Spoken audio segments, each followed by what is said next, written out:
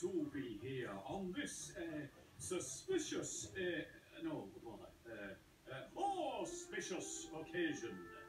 And it gives me great pleasure to receive this award on behalf of my railway and all those working on it.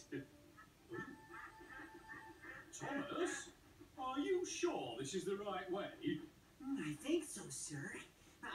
Seen this place before.